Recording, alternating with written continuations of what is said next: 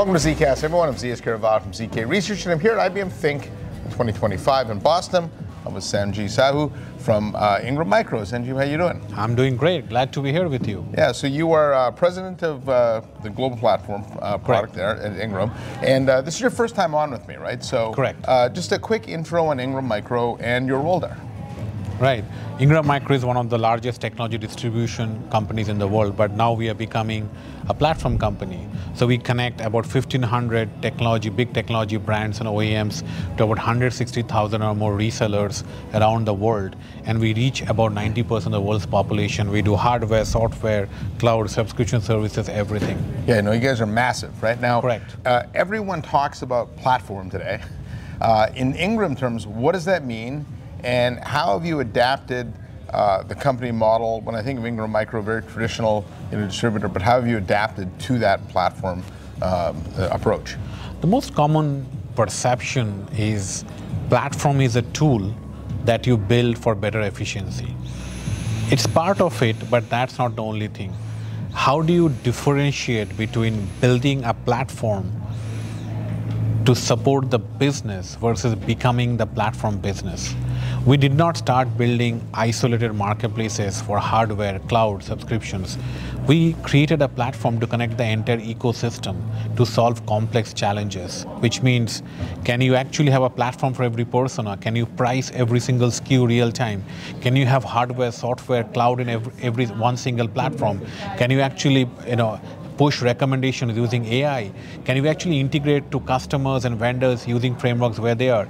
And ultimately, you don't own anything in Ingram Micro. You connect the demand with the supply. Using data and AI and platform capabilities, can you make that connection better? That's what I call is a platform, you know, and, and where we are trying to be. All right, now, um, the, you know, we are thinking one of the big themes here, right? Obviously, AI. Uh, your platform helps you enable better AI, but where are customers today with AI? What what are they thinking about? Obviously, everyone talks about it. It's hard to find a lot of use cases, though. Yeah, a lot of people talk about AI, and there are new, new algorithms of AI all the time. But a lot of the use cases of AI are primarily in chatbots or some prompts, yeah. you know. Very few companies yeah, are partners. But I don't really call it AI, right? Yeah. But very few companies are actually driving meaningful value with AI. You know, the reason for that is there is no AI without data. So you need to figure out how your data and the common mistake companies make is they're trying to work on a fancy AI algorithm and try to find a business problem to solve it, versus trying to understand your business problem and trying to find a solution with AI.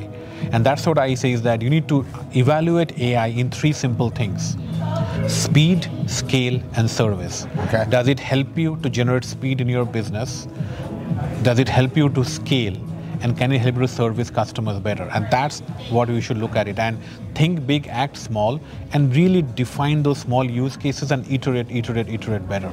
Okay, and what are some of those small use cases that you found customers want? Yeah, think about this. Most of the customers want efficiency. Like today, you're looking at billing. Can you reconcile your billing? Can you actually figure out how do you track your orders? You know, using AI? Can you actually do some of the basic solutioning and service using this? But most important, I'll give an example that what we are doing today in our platform.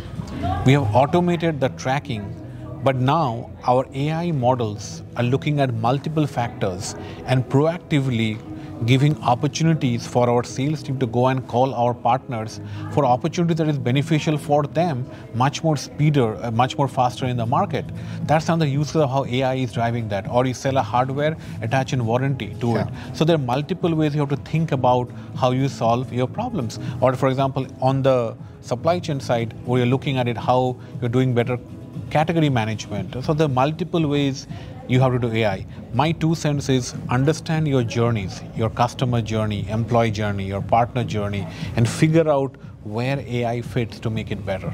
Yeah, well, I think uh, uh, that starting point of understanding your journey, not a lot of customers understand that.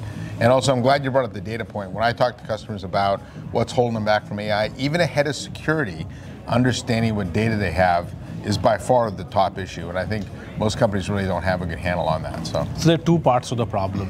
One is less than 5% of the data is actually meaningful, right?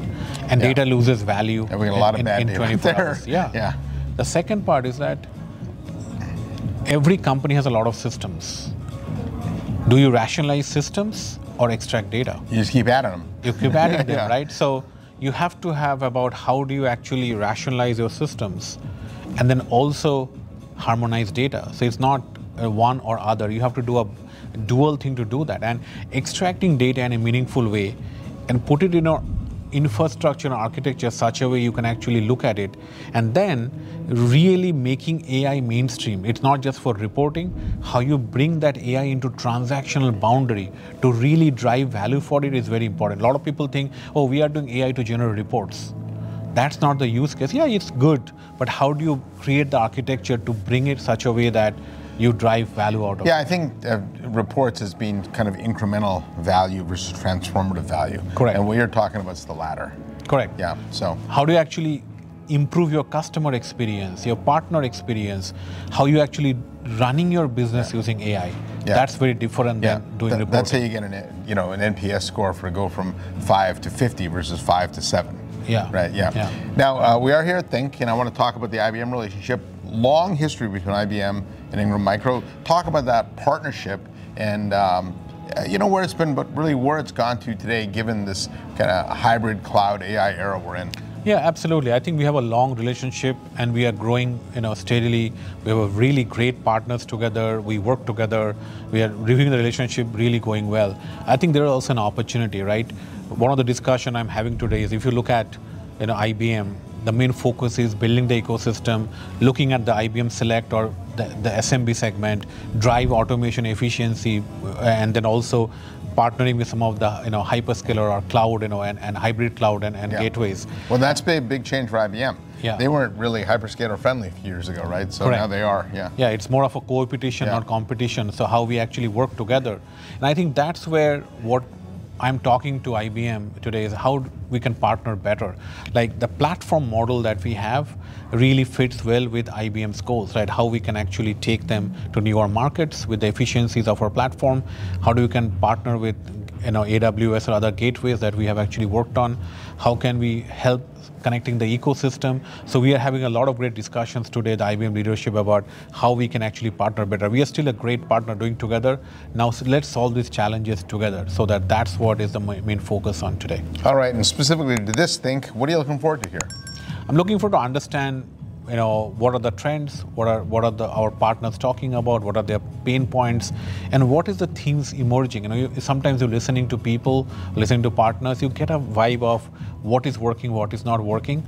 So I'm, that's what I'm looking for. Obviously, I came here to connect with some of the IBM leadership, but also listening to our partners and getting a vibe of what's happening in the channel and take some, you know, inputs for us to be better and improve in what we can do better in the future. All right, and last question. So, for the audience watching, obviously everyone's interested in AI, right? Uh, IBM's a great partner of yours. Just a couple of pieces of advice on companies on how to get started. I think you should really define your use case in the business strategy, what you want to solve. Are you assuming they know what their use case is? So, yeah, so find a use case and then look at the possibilities of one or two things with AI that can solve the use case. Do a small proof of concept and figure out does it actually help value and then scale and then iterate more. If you try to boil the ocean, then you, you will not be successful. Second is your chatbot or your POC is not only AI. You got to really figure out that we should not do AI for the sake of AI. It's better to do a small thing driving value versus doing a fancy POC that doesn't drive value. All right, so from Sanjib Sahoo, your chatbot is not AI. I'm glad you said that because a lot of people, when I ask them what they're doing, they add some reason ChatGPT. And to me, that's a little bit of value there, I guess, but, Yeah. but not really the long term transformative value. Absolutely. Right? So you know, define your use case, you've got to have the data, focus on value Value. and think big and act small and iterate more. think big, act small. I like that. So. And, it, and you got to be imperfectly perfect. AI is not perfect, Yeah, but a yeah. little more perfect every day. All right, anything else you want to add?